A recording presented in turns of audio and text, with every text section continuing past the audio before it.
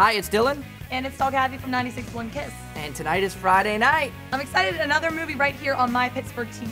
We're gonna be watching Supernova. It starts at 8 o'clock, and as always, you hang out with Tall Cathy and myself. Always a good time. hmm Friday night's right here, so that means tonight on my Pittsburgh TV starting at 8 o'clock.